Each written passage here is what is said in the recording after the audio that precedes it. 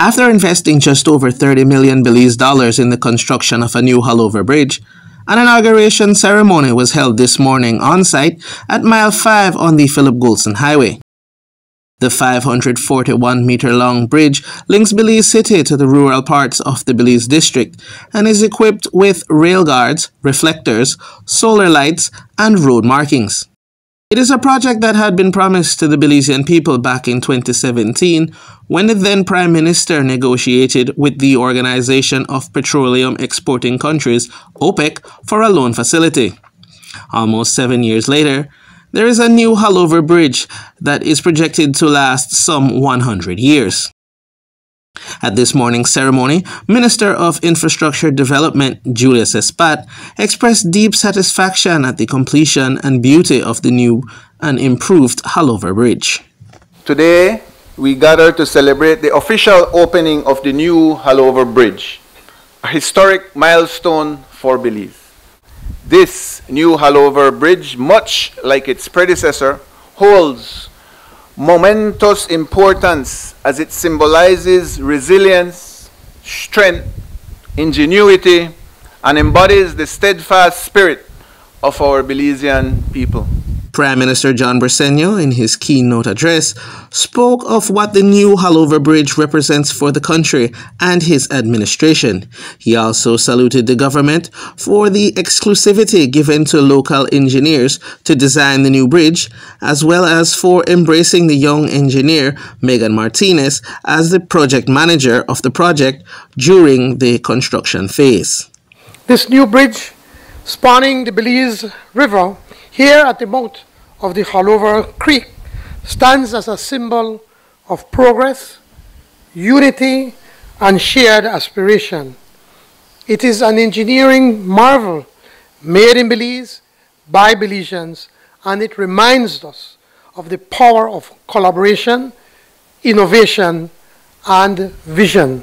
We convinced the international funders, particularly those at the OPEC Fund, that our plans designs and ideas were better and they agreed. This allowed the Ministry of Infrastructure Development and Housing to invite Belizean engineering companies as opposed to foreign engineering companies to compete for the contract and, and M&M Engineering, in, um, a fully owned Belizean company, won the bid. Megan Martinez, employed by M&M Engineering Limited, also presented at this morning's ceremony, highlighting the importance of the Haulover Bridge. When we conducted a traffic survey in 2017, it showed us that there were over 13,000 vehicles crossing over the old Haulover Bridge.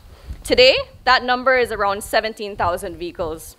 That makes this bridge the most important conduit for Belize's connection between the northern districts and Belize City. What now stands as the newly constructed Belize City exit replaces a bridge that was built decades ago with a rich history.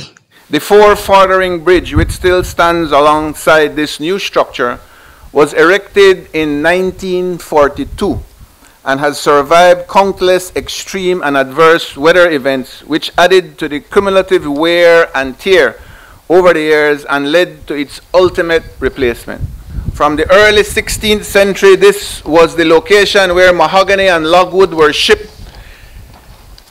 Timber would have to be pulled over from Belize River to be loaded on awaiting vessels, hence the name Haulover. We are standing at the gateway to the heart and economical capital of Belize. This Haulover Bridge continues to be an economic focal point as it connects Belize City with the northern districts and Mexico via the Philip Goldson Highway and connects the world via the Philip Goldson International Airport. How we have grown from barely inhabited Mosquito Coast to a vibrant and bustling community. We should be proud. As for the structure of the old Haulover Bridge, the surplus on this project will be used to repurpose it for use in the Cayo district. Reporting for Love News, I am Benjamin Flowers.